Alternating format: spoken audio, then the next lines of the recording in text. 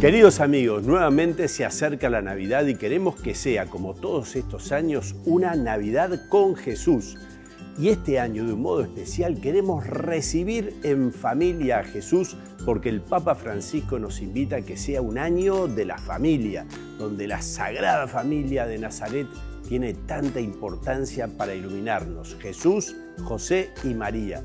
Por eso les proponemos nuevamente los cinco puntos que nos han ayudado todos estos años a preparar el corazón. Si los podemos vivir en familia, mejor aún. La novena de la Inmaculada a partir del 30 de noviembre y hasta la gran fiesta del 8 de diciembre. Luego allí colocar las balconeras de Navidad con Jesús también queremos, y si lo podemos hacer en familia mejor, tener un gesto solidario con aquel hermano que sufre o el que está enfermo o el que está solo, para manifestarle a través nuestro el amor de Dios. Llevar los niños Jesús a ser bendecidos para colocarlos luego en nuestros pesebres.